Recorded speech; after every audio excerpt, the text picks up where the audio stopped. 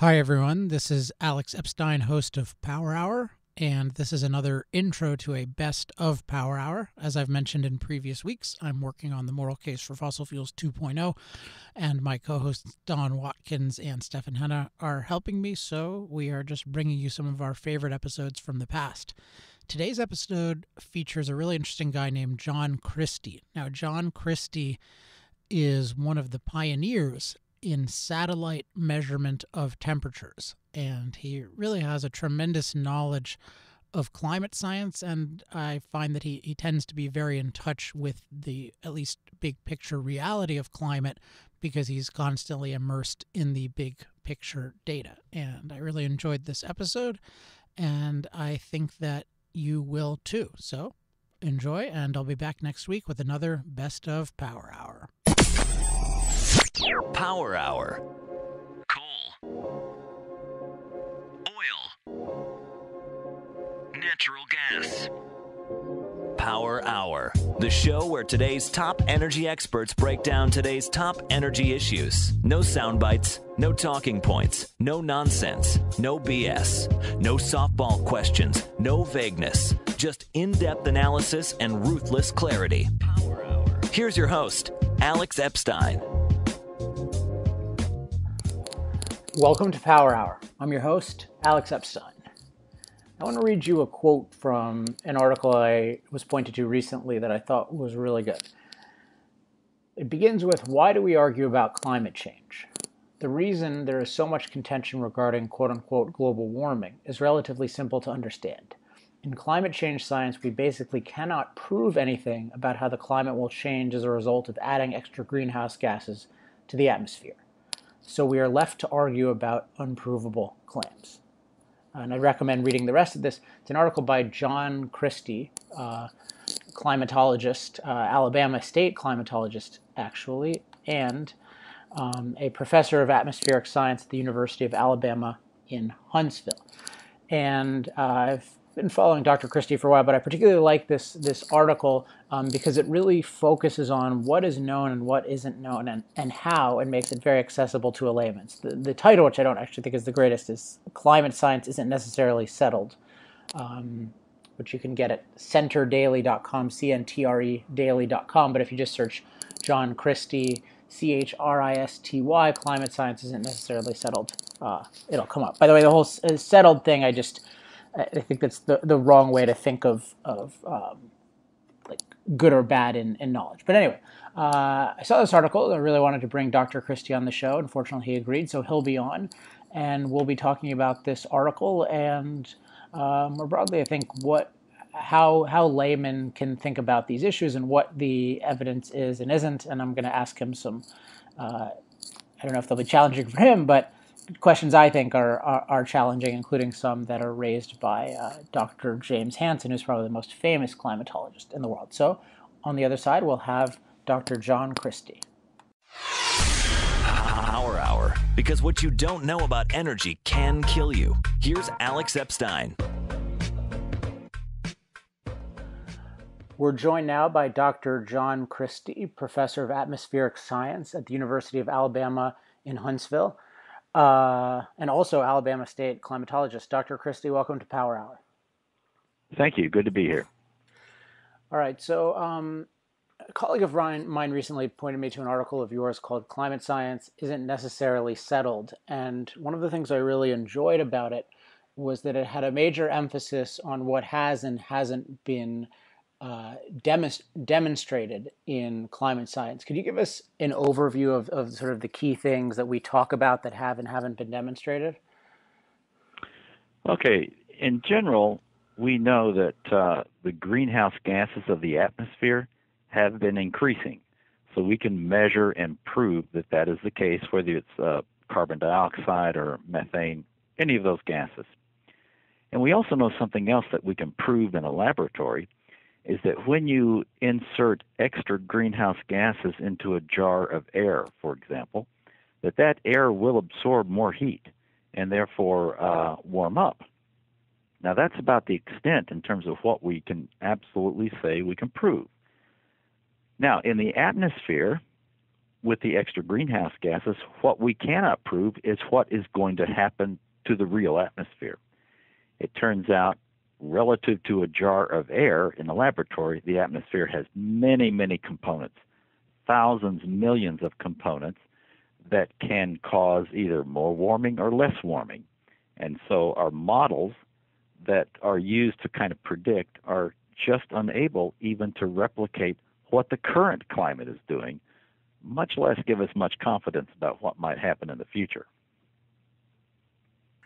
Um, so, I mean, some people, some, um, let's say, believers in catastrophic global warming would say that, uh, you know, there are other issues where there's a high degree of understanding, or maybe you can't exactly measure, but but it's still very well understood. So, in uh, James Hansen, in his book and in other places, uh, talks about how well what we can understand is that there's a certain energy balance, and we understand that CO2 has a fairly significant impact on that energy balance, and then we understand that there are positive feedbacks involving water vapor uh, heating up the earth and changing the climate. What's your response to the sort of status of those kinds of claims?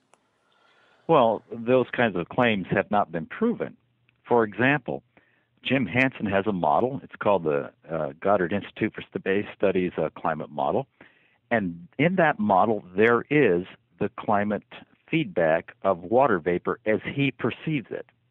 Well, we actually build data sets from scratch of the global climate system. We can compare his model output with the real world. And his model output fails terribly in trying to reproduce what is actually happening in the world over the past 35 years. Therefore, it's a pretty easy assumption or a conclusion to make that his model has the improper feedbacks. Uh, it, it's a very simple demonstration, as we've done in, in numerous places, including congressional testimony and in federal court. Um, I mean, I think one of the just to play devil's advocate for a little longer, I mean, one of the responses we hear to that, and particularly in the you know flattening of uh, global average temperatures in the past fifteen or so years, is the idea that yes, it's a straw. It, you know, yes, there are these these other elements that we can't anticipate, but you know, it's there's this basic dynamic of the energy balance, and we're you know adding the equivalent of 4,000, 400,000 Hiroshima bombs a day to the atmosphere. And over time, just like the Earth moving closer to the sun would warm it over time, even if more, you know, immediate effects counteracted that for a year or two, for sure it's going to get a lot warmer unless we stop using fossil fuels. Okay, that's all speculation. And that speculation is built into the climate model infrastructure and we have shown that to be false. And we are not talking here about only 15 years, and that's one of the things I like to use satellite data for. It goes back 35 years, even before the last 15 years of the pause, which climate models failed to catch. The models were already too warm. I wrote an article in Nature in 1994, well before the pause, demonstrating that models were about four times warming the air about four times faster than the real world. And the thing here is that the atmosphere is so complicated, it has many ways to expel that heat that climate models do not have. And so, with that ability for the real world not to retain that heat, and that means the temperature just simply doesn't go up like models claim it should. It should. Yeah, as, as a non-expert in this field, that's what that's what bugged me when I read Hansen's account is that he just there seemed to be this assumption that no matter what, uh, that energy would be uh, retained. And I, I, didn't see how you could prove that uh, for certain, especially given what I knew of the, the general trends of the actual temperatures. Well, if energy is going to be retained, we should be able to measure it, right? That's simple uh, science. We can't find it. It's not there. Therefore, the notion in the models that the energy should be retained in the atmosphere is falsified. Um, that something about the atmosphere contains, and we are studying these processes right now, something about the atmosphere, primarily cloud distribution, we think, is preventing that heat from being retained in the atmosphere. It's a natural response, in other words, sort of like a thermostat, a natural response of the climate system not to retain that extra heat. Um, uh, one thing I, I, am just enjoying about the way you're responding to these questions is that it's it's very matter of fact in terms of you actually have to demonstrate something and point to evidence, which you know in my own more much more limited science education, that's what you were taught, and yet today you hear claims. I was just scanning over some of what Hansen was saying. They'll talk about oh well we validated this using models, which seems circular. Uh, you're exactly right uh, they will take a time period of change, let's say 1930 to 1980 or something like that, tune the model to that time period, and then run the model and say, look how good our model did with this temperature time series. Well, that's about as circular as you can get. Um, we, however, build data sets of components of the climate system that the modelers do not tune to, and we are able to demonstrate that they are way off. And uh, until we see some models that actually represent what the atmosphere is really doing, I would not trust them for any type of scientific result, nor certainly for policy implications. Right. I mean, it seems it seems that the state of climate models is far far worse than the state of, say, economic models, and those even the best economic model in the world, as, as we've sort of seen, can lead you to very bad consequences if you follow it dogmatically because you've heard it's the best by a bunch of authorities.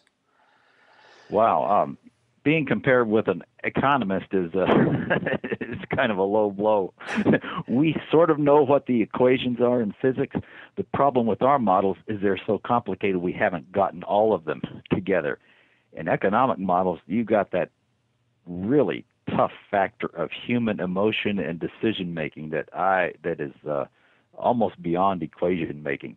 Although some of the economic models do do pretty good job of uh, you know the macro kind of uh, way things uh, work. Yeah, I mean that's a whole interesting methodological question because obviously you have elements of the climate system that you can measure in a way that nothing economic could remotely resemble. But at the same time, if we talk about sort of at least results, you have economic models and even economic theories uh, for sure that can uh, i mean even the theory of supply and demand has a lot of predictive power uh, numerically and, and certain views of the stock market. Now if people overestimate their understanding of the causality which is easy to do in something economics for sure but uh, i think i just take your point that we really if somebody claims that he can predict the future the question is what is your evidence that you can uh, predict the future. And as you mentioned, with something like the energy balance, if you're claiming this long term dynamic that's decisive, well, then you should be able to show that long term dynamic, not just say, well, it hasn't shown up yet, but don't worry, it'll be there after you know we ban fossil fuels. Yeah, when you say it that way, it sounds very unscientific, doesn't it? You know, I know it didn't work well now, but trust me, it will work in the future. And what we have shown is that in 102 which is all the climate model simulations that were available to us, every single one, all 102, overshot the actual temperature change of the last 35 years. That tells me there's something very wrong with even the basic theory of global warming, that it, the climate models are simply too sensitive to the extra CO2 that we're putting into the atmosphere. And I want to go back uh, to the history uh, of this theory because I've studied it a bit, but but I have a lot of questions about it. And I guess the first question is when was the greenhouse effect first identified, and and I think just as importantly, how was it viewed? Because it obviously wasn't viewed as a catastrophe widespread back then, because otherwise, you know, the global warming hysteria would have started, you know, a long time ago. Well, that is a bit of an interesting history that I know of. I don't know it all, but uh, Tyndall had some experiments where he demonstrated that uh, greenhouse gases absorbed energy and so therefore retained heat. Uh, Arrhenius did some calculations for the real atmosphere and indicated that if greenhouse gases uh, warm the atmosphere and the atmosphere behaved like a gas in a jar in a laboratory, then there would be a pretty good bit of warming. Of course, as we found through the years, the atmosphere does not behave like a gas in a jar in a laboratory. It's got all kinds of other things happening. Uh, there were times when, especially those in the Soviet Union and Russia today, uh, were happy about the thought of putting greenhouse gases into the atmosphere. I remember one fellow from uh, the 1980s who was advocating putting more greenhouse gases in the atmosphere because that would allow Russia to have a much longer growing season, you know, and expand its agriculture poleward and uh, really solve a lot of problems for them. Others have advocated for extra greenhouse gases because that's the way the planet used to be. We have about 400 parts per million now for carbon dioxide. Uh, I've heard the movement of 1500 because that's the period when the planet had the most uh, uh, uh bio, uh, biosphere. The biosphere was most invigorated because when you think about it, CO2 is simply plant food, and putting more of that in the atmosphere is uh, uh, beneficial to the plants. Now, on the other side of that, we have seen the environmental movement through you know the United Nations and so on come together with the goal essentially of showing that this is a terrible problem, that putting more carbon dioxide into the atmosphere is a terrible problem. And so they have these series of very expensive reports that have come out where they neglect uh, uh, scientists like myself and many others as they've slowly worked their way into selecting authors that have a particular point of view that will write the most uh, dramatic kinds of stories about uh, the dangers of carbon dioxide. So we got an interesting situation here with how this has evolved through the years. Well, I want to go back to some of, of the earlier views because I think it's there's I, th- I think there's this assumption that exists today that if we have any impact, it must be bad. So the rest of nature, whatever impact that has on climate, terrific, doesn't matter, or is good. We assume that's perfect. And then any impact we have is bad. So basically, the human race is the problem, which I sometimes call human racism. And it's I find it interesting to look back in the past and see, well, there are these theorists that actually anticipated uh, good consequences. Can you tell me uh, some of the names of those theorists? I'm, I'm interested to to look them up. Um, well, off the top of my head, I, I can't recall. I just know that a number of us today are actually looking at these uh, consequences in terms of measurements. You can actually measure the increase in biomass over the last 25 years from some of our satellites that uh, measure uh, biospheric mass. And so this we can see in the last 25 years an invigoration of the uh, ecology of the planet as a result of this extra CO2. Then we have um, the uh, um, uh, Nobel Prize winner, I can't think of his name right now, who was able to use a tremendous amount of skill in creating better sources of wheat. But Norman Borlaug? Big, yes, yes, that's a Norman. Um, a big factor in that extra uh, productivity and extra yield was the extra CO2 we put back into the atmosphere. So this was a very, extremely beneficial aspect of using carbon fuels uh, for the planet in the fact that we have a roughly a 20% increase in food production simply because of the extra CO2 we have put back into the atmosphere where it originally was. What is the state of the evidence about warming being correlated to all of these negative weather events? Because it seems like at, at once that, as far as I understand it, the basic theory, almost all the negative consequences come from warming. It's not like CO2 as a gas is causing hurricanes directly in their theory, but at the same time, the trends don't seem to bear that out. And historically, people wanted more warming. Well, you know, you're talking here to someone who's a climate scientist who actually, and there's only a few of us who actually build data sets from scratch. I mean, we go into the real records to find out what has gone on in the as far back as we can go. And you're right that the climate alarmist movement has really been attracted to extreme events like tornadoes and hurricanes and droughts and so on. Well, those are things we actually can measure and we can count them, we can measure their intensity and so on. And in all those cases you mentioned, none of those are increasing. There is no correlation between uh, the global temperature and these kinds of events. They happen on their own because of other sh- um, uh, parts of the climate system that create imbalances that will always be there. We will always have tornadoes. We will always have hurricanes. We will always have blizzards. And you uh, probably got a chuckle this past winter about how many times people were saying it was so cold because of global warming.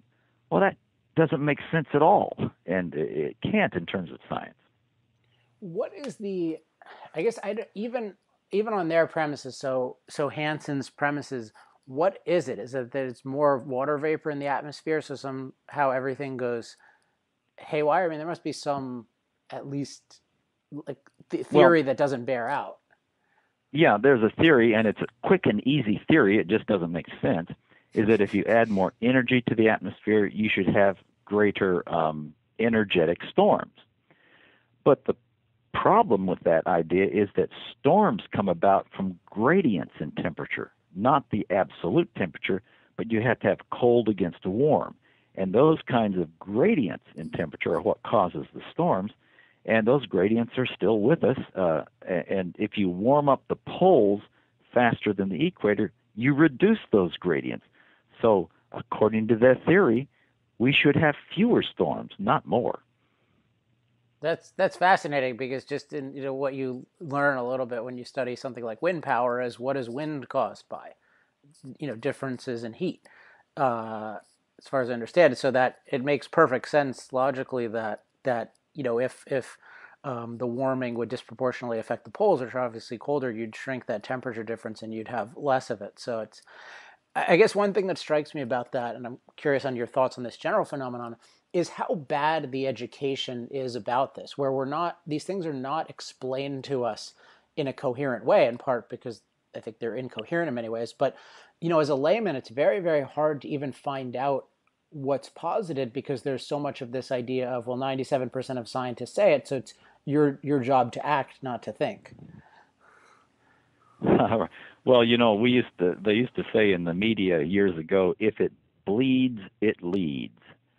And uh, so in a TV news hour, that's what happened. And so what leads in a news hour is a dramatic statement about the future that, of course, cannot be proven, but it certainly has some nice video clips you can add to it.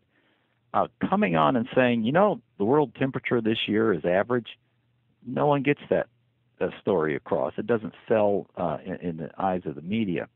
So getting good and accurate and boring information, but but information that you can stand on in court under cross-examination, that's the kind of stuff I deal with.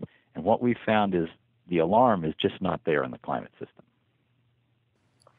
So you mentioned the role of it if it bleeds, it leads, and that's that's clearly a dynamic. Um, but just looking at the trajectory of how people, you know, what people's expectations are, it seems like just there's this. There, it seems like there's this default expectation that if we're having any impact on climate, which you know we are in some way, that it must be bad. What about that? This more basic premise that when it's wrong for man, you know, to chant to change nature.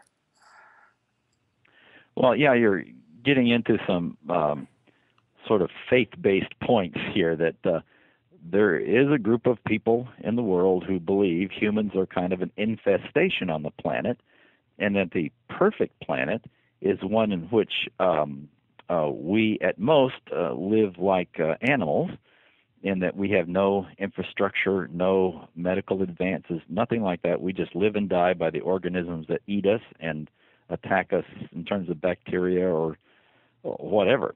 That that's their sense of an Eden.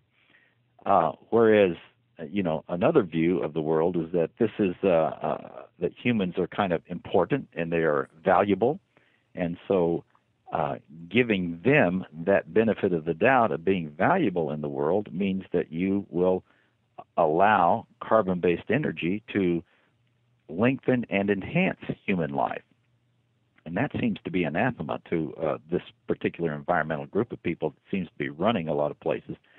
Um, that uh, whatever you do that encourages human life and lengthens it and makes it uh, uh and enhances it is somehow wrong.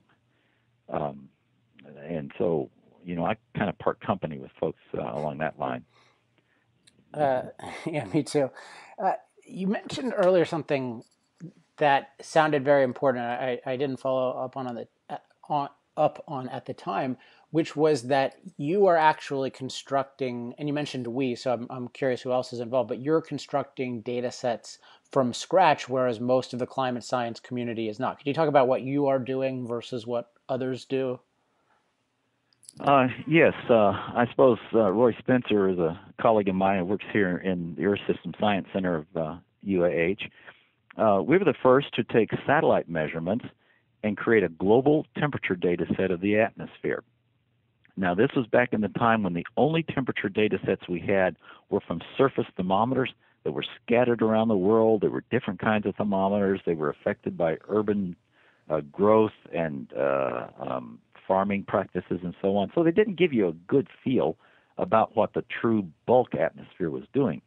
And so we were able to uh, generate from microwave sensors on polar orbiting satellites uh, a truly global data set. And it shows this, you know, this lack of warming compared to climate models, and still does after 35 years now. Um, and uh, we have another great uh, uh, aspect of that data set is that we can independently uh, check it against balloon measurements, and and the two are, are, are extremely close. So we have high confidence that we are seeing what the real world is doing, and it's not doing much in terms of changing its temperature. Uh, so uh, that's just some of the work we do in terms of uh, uh climate data sets. Um, and then um, how how are other it sounds like others in the field are uh, they're not doing that. Obviously not everyone is going to have the same specialization but it sounds like others are in some way ignoring that or, or taking dogmatically a data set that they haven't constructed and that's not really validated. Is that accurate? Uh, oh yes. Uh, this is very common in our field is to you know come to your conclusion first and then go out and try to find a data set that matches your conclusion uh, kind of a backwards way to do anything, but uh, that happens in, in climate science. Uh, remember, I hope your listeners realize that climate scientists are just people, and people believe what they want to believe. And so we find that, uh, you know, if they find a surface data set with lots of warming or a particular place on the Earth that's changing, they will point to that and say, ah, that's due to mankind.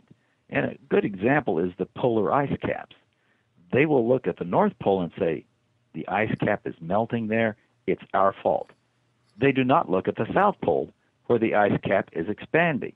And your listeners may find it unusual to hear this, but it turns out when you add both of them together, the total sea ice right now is above average by about a million square kilometers.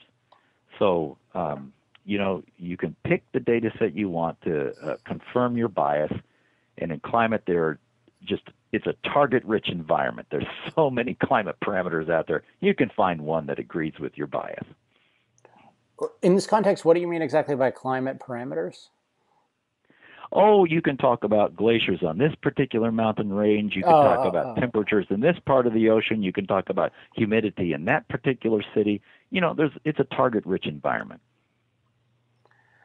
Um, so what well, can you explain um, the relationship between weather? You mentioned that weather balloons and the satellites correlated. How do the how do the balloons work?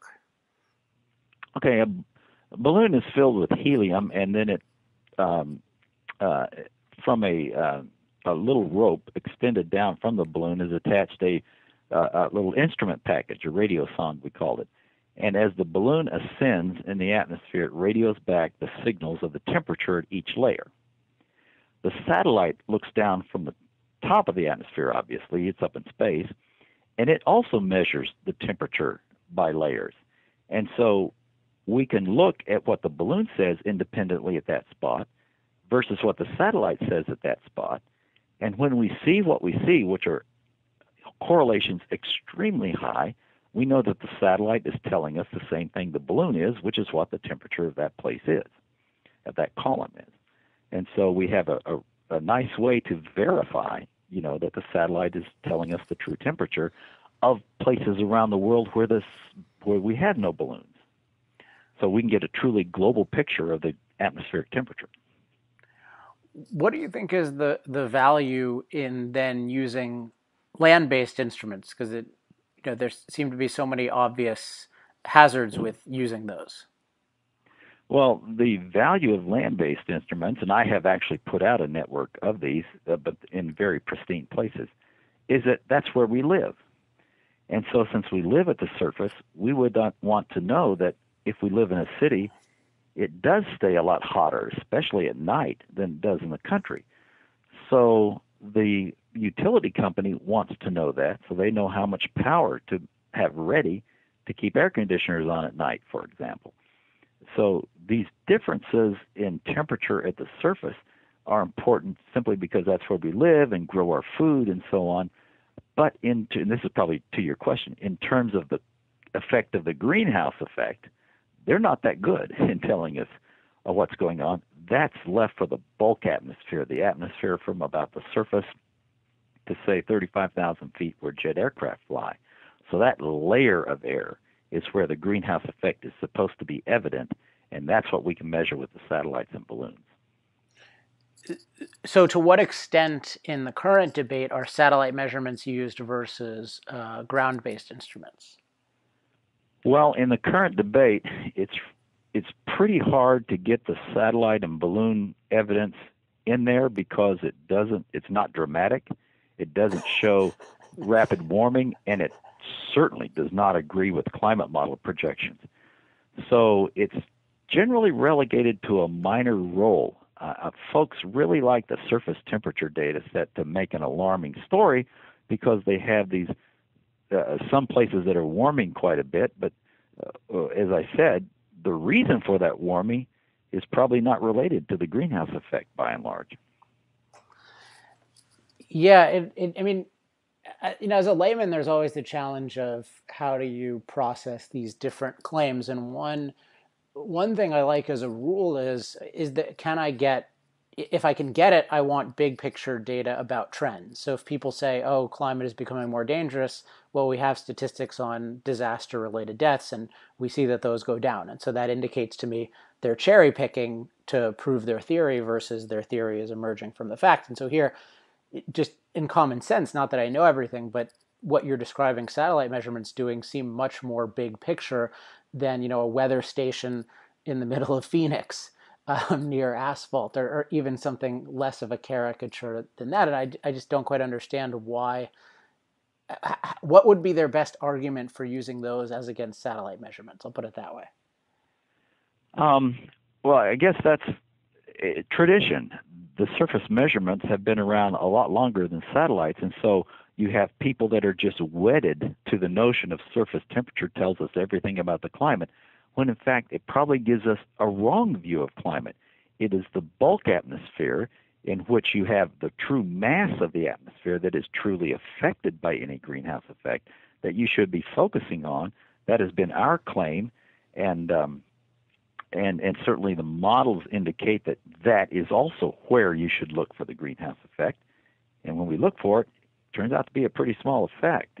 So um, I, I agree with you. We are able to see with the same. Think about this: the same thermometer on a polar orbiting satellite looks at the whole world. So it's not like it's a different thermometer there and a different thermometer there, or or whatnot. It's the same thermometer that measures the entire uh, global atmosphere uh, on a daily basis. So you got a good calibration of that instrument. It also seems less susceptible to manipulation. I mean, unless you just just somebody. I mean, maybe with the character of Mike Mann, uh, you could call that a cheap shot. But you know, just manipulated the data set that came out of it. But if it's if it has one instrument, it seems pretty much cause and effect. If either instrument is right or wrong, but it's not going to magically uh, measure things uh, in a biased right. way. Uh, that's a good point. Is that you should always have more than one group uh, constructing in independent ways the data set from the original data. And there is that there's a group out in California that also generates the uh, tropospheric temperature data set. Their result is within one hundredth of a degree of our result per decade. So they're, they're, they line up extremely close even though they constructed it completely independently from uh, the way we constructed the data set. That's that's fascinating. Uh, could you elaborate a little bit more on just the, the issues it, you've mentioned a couple of times, just the way the atmosphere works in terms of where where the bulk of it is and how this relates uh, to greenhouse effect? Because I don't think most people have a sense of exactly the where all of this stuff is supposed to happen. It's just they have this idea uh, of a you know of a blanket that John Kerry so eloquently spoke about uh, in Indonesia. Right. Uh, well, the greenhouse effect, um, uh, without getting into too much physics, has an effect, and that effect is to warm up the atmosphere to balance the energy that comes in and out. In other words, it's like when you put a blanket on the atmosphere, the the person under the blanket will start warming up to a point where the top of the blanket then releases the energy in balance. Uh, it turns out the way that works out in the atmosphere, there's actually more warming in the upper part of the atmosphere than at the surface. And so if you want to look for where the greenhouse effect is strongest, you go up about 30, 35, 40,000 feet and measure the temperature there because that's where it has the largest signal. And it warms up the most because of the way these greenhouse gas molecules absorb and emit heat up and down. Uh, like I said, I can't go into the physics of it, but but that's just the effect. That's where you would go to look for it. And so that's why we think the satellites and balloons are terrific for that purpose because they measure the temperature right there at that spot where it should be most obvious uh, to uh, for the greenhouse effect to occur. What's the current, given that we've talked about what instruments are good and what their reliability is and what the hazards of certain ones are, what's the status of ocean measurement? Because that's something that is quoted a lot these days, in particular because they're not getting the, the weather results they want. So the ocean is the place where all the heat is, allegedly. Right. Yeah, the ocean has much, much more heat capacity. In other words, it can hold much more heat than the atmosphere. And I can say that the measurements are getting better, but they, for a long time, uh, are pretty uh, scattered. In fact, I've seen some examples where we are looking at the deep ocean heat content, and for the globe as a whole, we might only have 50 measurements in a month. Now, you think of how big the globe is, and if you only had soundings of the ocean in 50 places around the world, is that going to give you an accurate number? Probably not. Uh, in the last 10 years, there's been a concerted effort to put out um, these descending buoys that are able to go down and up and down and up pretty much around a lot of the globe. And so in the last 10 years, we have a good idea. But the other problem here is that it only takes a tiny change in temperature to represent a huge amount of heat. And we don't yet have those uh, the precision to measure that level of heat change. And so someone can talk a lot about how well the ocean is eating the heat. That the, the the heat is disappearing into the ocean because we can't find it in the atmosphere, obviously.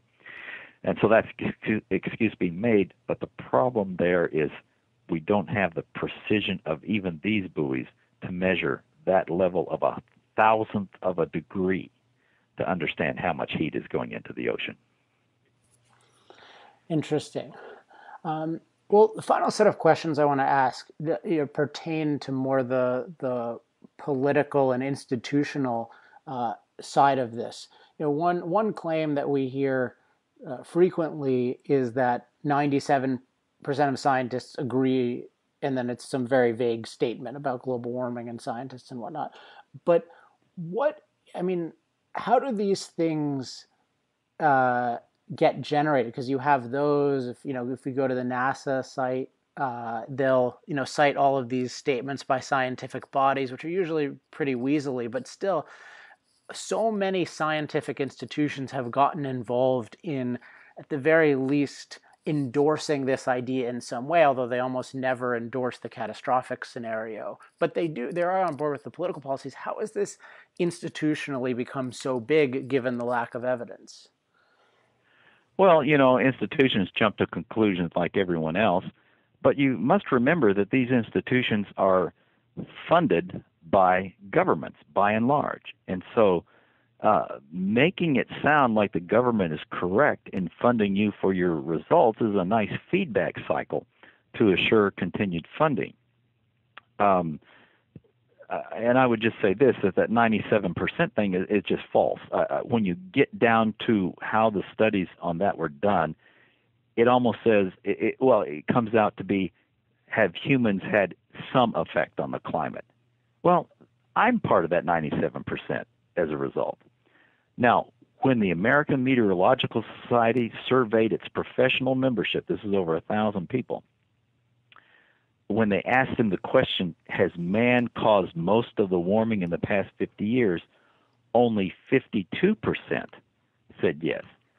52% is not a consensus, and it betrays the fact there is so much uncertainty about the climate system that you can only get 52% of the professionals to agree with that statement. And how many of those professionals are actually federal employees or funded through the government for the work they do to create the alarm. So it's a, it's a tough survey to, to swallow in some sense. So it's interesting because I just pulled up the a quote from that the, the society in 2012 and it says it is clear from extensive scientific evidence that the dominant cause of the rapid change in climate of the past half century is human induced increases in the amount of atmospheric greenhouse gases including carbon dioxide chlorofluorocarbons methane and nitrous oxide so how did how did this emerge from that poll well, uh, the society essentially they did not they did not write that at the behest of the membership. That was a selection of people, a collection of people that was specifically uh, selected to be alarmist. Now, I would simply say, prove it. Okay? Ask the society to prove it. They can't. What they will say is, but our model projections indicate that we can't get warming unless we have the CO2. To which I come back and say, look, I have your models. None of them, not one, reproduce what the climate has actually done. Therefore, you have not proven the statement you lead off with that's very alarmist. And that's terrible for society to base its science on speculation and not on observational fact. It's an embarrassment, and I'm a member, I'm a fellow of the society. Yet uh, um, I find it an embarrassment to science and to our society specifically that they would say such a thing. Yeah, and I don't know if this is from the AMS one, but it's in others where they'll not only do that, but they'll make political economic statements, which, on the face of it, given that it's an interdisciplinary question of what to do about energy, uh, that they're commenting on. So, for instance, the American Physical Society says we must reduce emissions of greenhouse gases beginning now. So, they're telling everyone around the world your energy of choice, the energy that's keeping you alive, physics tells you stop using it. Well, this is where, and I, I testified before the APS uh, just last January because they are rewriting that statement. I think they got a lot of flack from their membership about going into the political sphere so hard like that. And and as I say, I think I said it in this piece you referred to at the beginning, that you have to make you have to ask the right question. And the right question is what is it or how much do you value human life?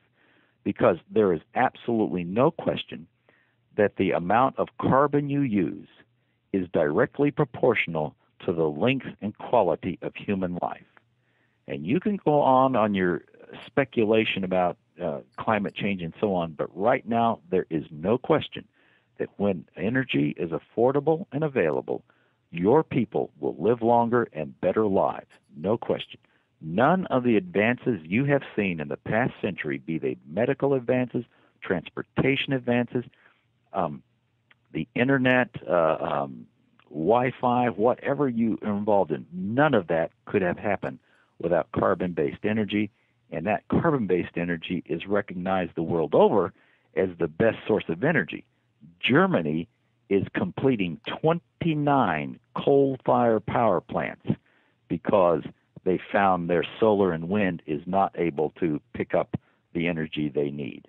And of course, China, India, other countries are going full bore on carbon because that is the life giving source of energy they have found and can afford.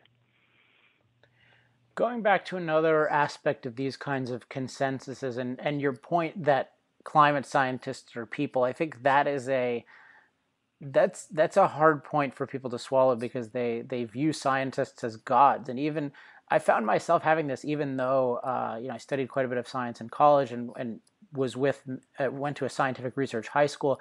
There's still this tendency to think of them as the scientists, and they're all just these Isaac Newtons looking at the facts, and and that's all that matters. And they would never say anything disingenuous or misleading. Can you just elaborate on the idea that climate scientists are human beings? well, I hope your listeners know that climate scientists are human beings. They're not uh, robots. In terms like of the, the drawbacks, the Bang, in know? terms of the negative capacities of, of human beings. Oh, well, well, climate scientists um, are terrible at uh, coming to conclusions first and finding evidence to support that conclusion later. Uh, this is done so often in climate science, it's, it's embarrassing. And uh, those who sit down and specifically look only at what facts are available come to completely different conclusion about how the climate works. Um, golly, uh, I, I would I would just say that you know your listeners need to understand that that scientists are people that have views about their uh, human life, about the ecology of the planet, about the place of uh, of humans in the system here, and that colors how they see things. And there's also another component, or many components, but another one is attention.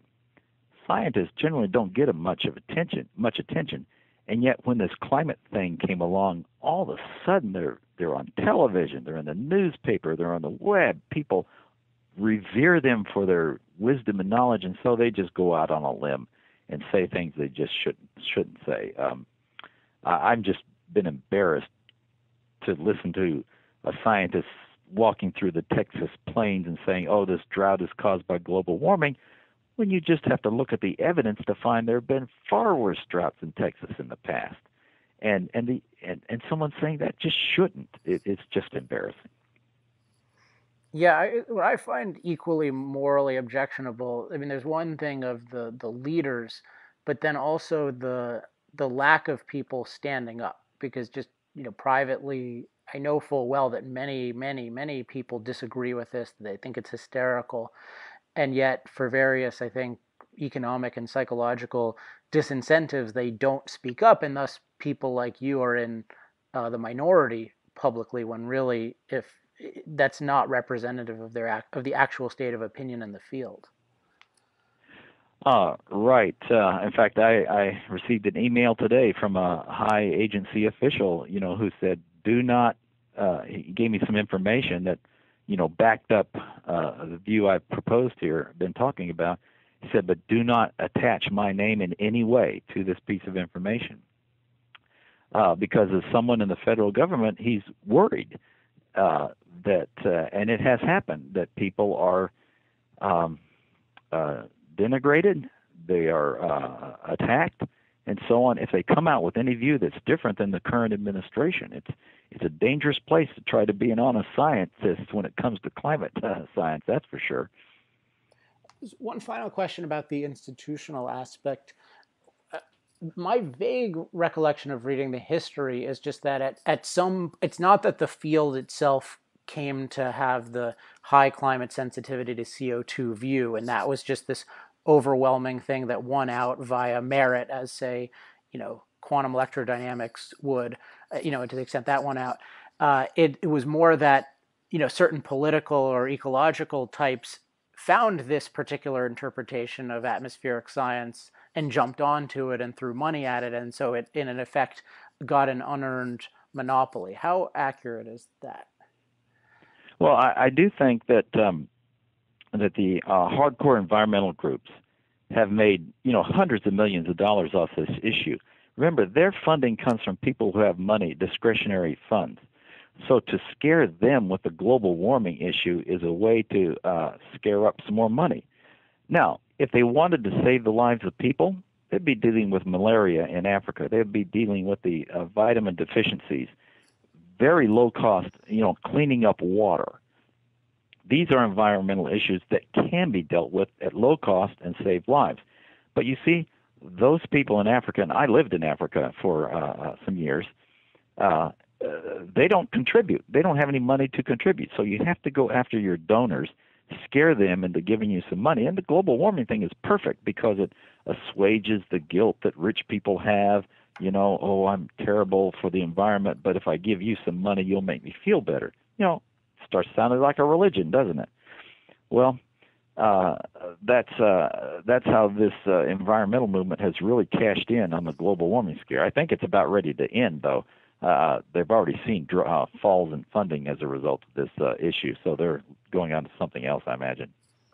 I guess what's the relationship? I mean, there's there's the funding, and I know people talk about the funding. Given that my primary interest is in philosophy, I'm more. I always tend to, to look at the ideas, and and with you know a lot of these donors and then the the recipients it seems non-coincidental that they're very very drawn to the latest alleged massive flaw in capitalism that makes them necessary to come to the rescue and control things oh well when you get into the economics get out of my field i do understand uh, uh, you know some of it uh, in a basic sense um, unfortunately, in economics uh, versus what they're viewing, in economics, you know, an economy works well when someone has a free decision to make to spend his wealth on some good or service that he gets in return. Uh, when a third party comes in and says, "No, you can't do that. I'm going to make you buy this kind of electricity from solar power or something," it's more costly. It doesn't serve your needs well, but you know, I'm going to force you to do that, that all of a sudden reduces the impact of an economy and its ability to employ its people and to be vigorous and, uh, uh, you know, ha- have an active uh, influence on as many people as possible, positive influence on as many pe- people as possible. So this notion of uh, uh, trying to destroy an economy or, or capitalism, I, I think you're onto something there. That some of these folks in the environmental movement just don't like um, freedom of choice because people choose things that are inconsistent with their particular beliefs. Yeah, and historically, this is something I know a bit more about. I mean, the environmentalist movement arose at a very specific time, which was after the well publicized failure of communism and after the Vietnam War was the cause of the day for the left. They, they picked this cause, and it's not as if pollution had been increasing it had been uh, decreasing. Well, we are uh, running out of time. Um, so let me ask as a final question: What you know, what do you want uh, the audience to take away most from all of this? What I want the audience to take away most, I suppose, is that they don't have to fear about the climate uh, turning around and, and harming them, we have the evidence that it's not changing much. And to be skeptical, to be skeptical of those who are paid to have a view and paid to have an agenda. Always be skeptical when someone seems to know what the answer is for the future when they really can't predict it. And I guess I would add one one lesson that was really cemented to me by this interview was just the particularly not just being skeptical as such, but but demanding an explanation, asking. You shouldn't be afraid to ask someone, "How did you prove this?" That's a legitimate sci- question to ask any scientist, and if they, if they, uh, you know, blanch at that question, that's a cause for suspicion. Yes, the cause for suspicion uh, comes especially when someone says, "Oh, but the world scientists agree." or the government agency agrees, that's not an answer. You want to see the numbers, we produce those kinds of numbers. And that's the way to determine. All science is numbers, and that's what it comes down to. Thanks so much, Dr. Christy, for coming on the show. Okay, my pleasure. Thanks again to Dr. Christy for coming on the show. My number one takeaway, which I indicated during the show, was just the issue of being very rigorous that people prove or objectively support their claims, and that you have every right as a consumer of you know a given a given claim to ask the person, well, how do you how do you demonstrate this? And the fact that they have a certain kind of standing or prestige, that should just make them more likely to be able to give you one and to give you a good one. But if that's used in some way to make you take a conclusion on faith or to allow someone to get away with shoddy reasoning, uh, that's you know that's the reverse of the purpose of going to experts who are supposed to inform you, not misinform you via something that has nothing to do with actually proving uh, a point to you. So I, I just appreciated how when I would ask different questions, he would he would always bring things back to what can you demonstrate, what can't you demonstrate, and just demanding that everyone do that. And I think that's that's a model that uh, that anyone uh, can follow. Also, the point just about understanding that that scientists are human beings and who have the same, you know, who this is not some sort of, you know, I think human beings are inherently sinners, you know, not at all. But it's it's understanding that there are certain uh, human beings have certain capacities for doing good and doing bad, and that there are different contexts that reward or punish uh, different capacities. So if we can look at a context of the you know the state of, of modern climate science, there's an enormous set of incentives directing people toward publicly voicing certain conclusions and not publicly voicing uh, others. And because that's not an honest process, it, that, that is an, a disincentive toward ethics uh, itself, which is a whole, whole long discussion. But uh, it's always, I think it's always good to hear that because we, we do we do get exposed to this view that quote the scientists are just these cosmic doctors or deities and that that again leads to not not questioning. And it's not about being skeptical in the sense of just you don't believe anything and you, you won't listen to anyone and you think you're smarter than it. It's just a matter of no, you really you're someone who really wants to understand the world. And for that to happen, you need to a lot of times you need to say, "Hey, wait, I didn't understand that. Can you can you explain that?" And if somebody, unless you're super dense, if somebody begrudges uh, you know, acts begrudgingly about that, that's that's not a good sign. They should be eager to uh, explain it. So those those are two things I thought were really uh, interesting.